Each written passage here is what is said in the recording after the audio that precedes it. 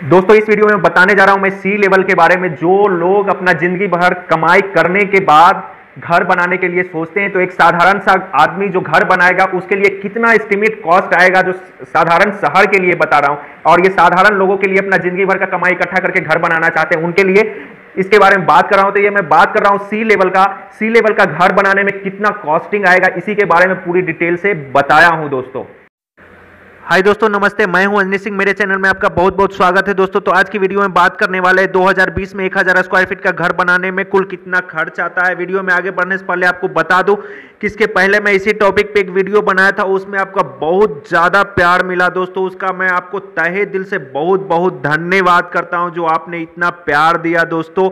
अगर आपने वो वीडियो नहीं देखा तो मैं ऊपर आई बटन में उसका लिंक दे दिया। वहाँ जाके आप देख सकते हैं। और चलिए वीडियो में आगे बढ़ते हैं और देखते हैं 2020 में 1000 स्क्वायर फीट का घर बनाने में कुल कितना खर्च आएगा दोस्तों। अगर आप मेरे चैनल पर पहली बार आए तो प्लीज़ मेरा चैनल सब्सक्राइब कर दीजिए साथ ही बेल बटन को प्रेस कर दीजिए ताकि मेरे आने वाले वीडियो का नोटिफिकेशन मिलती रहे तो देर न करते हुए वीडियो स्टार्ट करते हैं।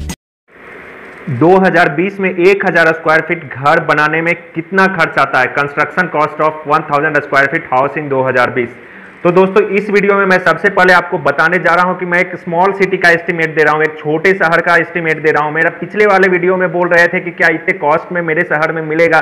तो भैया, एक ये साधारण सा शहर है, छोटे शहर है। आप मुंबई, बैंगलोर जैसा मल्टी सिटी में इस रेट में चाहोगे तो नहीं मिलने वाला है।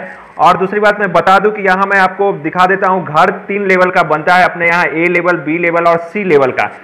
तो दोस्तों, मैं सी लेवल का बताने जा रहा हूँ, क्योंकि मैं एक साधारण आदमी के लिए घर बनाने का जो सपना देखते हैं कि कितना कॉस्टिंग आ जाएगा, उसके बारे में बताने वाला हूँ। ए लेवल और बी लेवल तो पैसे वाले के लिए, साधारण लोगों के लिए जो ज़िंदगी भर कमाने के बाद सोचते हैं कि मैं एक घर बनाऊँ तो वो सी लेवल का घर बना सकते हैं या और और भी ज़्यादा बना सकते हैं, लेकिन मैं सी लेवल के घर बन, के बारे में बताने जा रहा हूँ। और पहले मैं आपको, फिर से मैं आपको बता दूँ एक छोटे शहर का एस्टिमेट है। तो सबसे पहले आपको बता देते हैं लेबर कॉन्ट्रैक्टर का। लेबर कॉन्ट्रैक्टर डेढ़ सौ से लेके अढ़ाई सौ पर स्क्वायर फीट का है दोस्तों। डेढ़ सौ से ढाई सौ पर स्क्वायर फीट इसलिए क्योंकि ये छोटे शहर का है और डेढ़ सौ से पर स्क्वायर ढाई सौ, डेढ़ सौ से ढाई सौ पर स्क्वायर फीट का लेबर मिलता है और ये हंड्रेड परसेंट मिलता है और मैं बिहार से बिलोंग करता हूँ दोस्तों तो मैं बता दूँ डेढ़ सौ से ढाई सौ पर स्क्वायर फीट का लेबर यहाँ पे आसानी से अवेलेबल है। तो अब मैं लेबर कॉन्ट्रैक्टर का बात कर लिया कि डेढ़ सौ से अढ़ाई सौ के बीच का है। अब मटेरियल का बात कर लेते हैं कि क्या क्या मटेरियल लगेंगे। पहले आप देख सकते हो दोस्तों सीमेंट में 250 बैग का एस्टिमेट दिया हूँ। अब लोग बोलते हैं, यार 250 बैग में क्या हो जाएगा? 500 बैग लगेगा 700 बैग लगेगा। तो भैया, आपको बनाना है तो आप 500 भी लगा सकते हो और 200 बैग में भी बना सकते हो। तो मैं एक साधारण घर के लिए बना, बता रहा हूँ, जो सपना देखते हैं, यार, कि मैं अपना घर बनाऊँगा, उसके लिए मैं बता रहा हूँ। तो 250 बैग का मैं इस्टीमेट लिया हूँ। और दूसरी बात बता दूँ कि जो मैं ये एस्टिमेट लिया हूँ 2020 का, ये हमारे यहाँ एक बिल्डर है, उनके यहाँ सिविल इंजीनियर का मेरा कोई फ्रेंड काम करता है, उन्हीं से ये एस्टिमेट लिया हूँ और वही ये एस्टिमेट दिए हैं। तो आप सीमेंट देख सकते हो 250 बैग सीमेंट का लिया है, बालू 12 ट्रॉली लिया हुआ है, गिट्टी 10 ट्रॉली है, ईंट है 15 से अट्ठारह हज़ार है, और सरिया अढ़ाई से तीन टन का सरिया का बात हुई है। और आप, आपको मटेरियल का रेट बता देता हूँ कि एवरेज रेट कॉस्टिंग किया जाएगा। सबसे पहले आपको लेबर का बात करते हैं। लेबर आप देख सकते हो, एक सौ अस्सी रुपया लिया है। डेढ़ सौ से ढाई सौ में बताया था, लेकिन मैं एक सौ अस्सी रुपया लिया हूँ।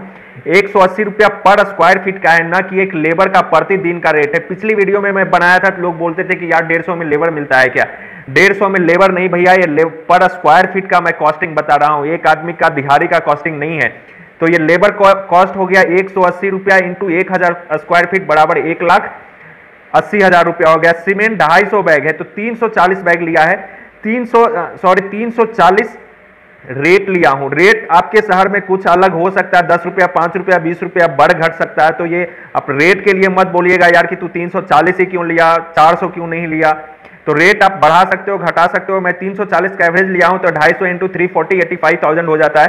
सैंड आप देख सकते हो, बालू 12 ट्रॉली है, मैंने सत्ताईस सौ लिया। मेरे यहाँ अभी सत्ताईस सौ में मिलते हैं। कहीं कहीं ये आपको हज़ार रुपये में भी मिलते हैं कहीं कहीं ये पाँच हज़ार में भी मिलते हैं। तो मैं एक सत्ताईस सौ लिया है, जो मेरे यहाँ का रेट है। सत्ताईस सौ लिया, सत्ताईस सौ के हिसाब से बत्तीस हज़ार चार सौ होता है। गिट्टी है, बत्तीस सौ लिया हूँ, दस ट्रॉली का। और फिर भी मैं रेट के लिए फिर बता देता हूँ कि रेट यार ऊपर नीचे सबके शहर में होने वाला है। ऐसा फिक्स नहीं है। मैं ये एवरेज ले रहा हूँ बत्तीस सौ रुपया तो बत्तीस हज़ार हो गया। सरिया देखो, ढाई से तीन टन लगेगा तो मैं ढाई टन सरिया लिया हूँ अब लोग दो टन में भी बना लेते हैं और किन्हीं को पाँच टन भी सरिया कम पड़ता है तो वो अपने अपने बनाने का नज़रिया, अपने अपने बनाने का तरीका है कि आप किस तरह से बना रहे हो। तो ढाई टन लिया हूँ ढाई टन इंटू पचपन रुपया, एक लाख सैंतीस हज़ार पाँच सौ हुआ। इसको टोटल किए तो चार लाख छियासठ हज़ार नौ सौ। अब ईंट देख लेते दोस्तों, ईंट है, पंद्रह हज़ार लिया हूँ, पंद्रह से अट्ठारह हज़ार का एस्टिमेट दिया हुआ था तो मैं पंद्रह हज़ार लिया हूँ।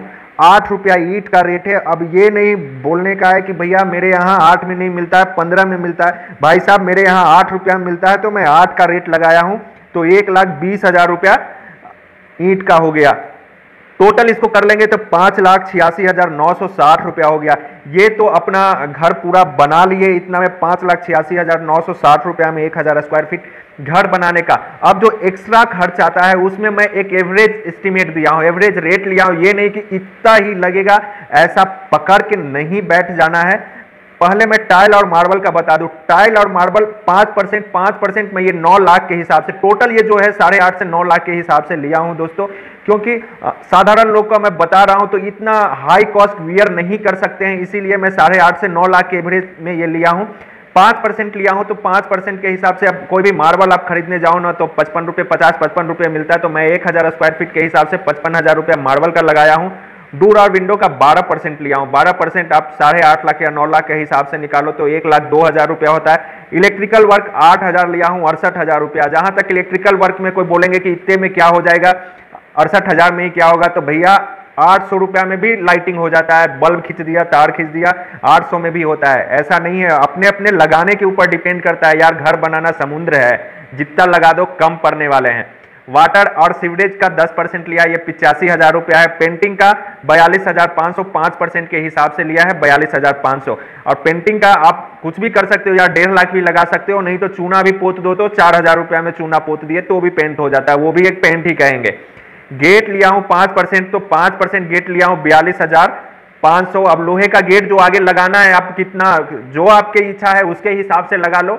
मैं अपने हिसाब से जो मेरे को एवरेज दिया हुआ है वो हिसाब से मैं पाँच परसेंट के हिसाब से बयालीस हज़ार पाँच सौ रुपए गेट का है। एक्स्ट्रा तीन परसेंट एक्स्ट्रा इसलिए बोले हैं कि किसी चीज़ में थोड़ा कम गया ज़्यादा हो गया कुछ वेस्टेज हो गया इस, इसके लिए एक्स्ट्रा पच्चीस हज़ार पाँच सौ रुपया तीन परसेंट लिया हुआ है। ये टोटल अगर करेंगे दोस्तों तो चार लाख बीस हज़ार पाँच सौ हो जाता है। अब आप देख लो कि ये मटेरियल का रेट वगैरह लेबर रेट हो गया पाँच लाख छियासी हज़ार नौ सौ साठ रुपया और ये टोटल हो गया बयालीस हज़ार पाँच सौ रुपया दोस्तों।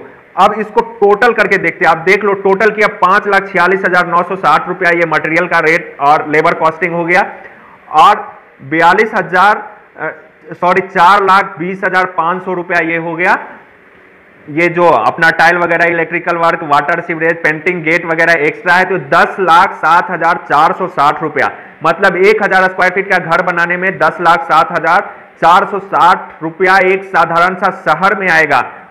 मीन्स ये हो गया एक हज़ार स्क्वायर फीट बनाने में एक हज़ार पर स्क्वायर फीट का रेट आएगा। दोस्तों, में एक हज़ार पर स्क्वायर फीट का रेट आएगा। ये रेट आपको कम भी पड़ सकता है। आप जितना सामान कम लगा लो, यार, खाली घर ही बनाना है।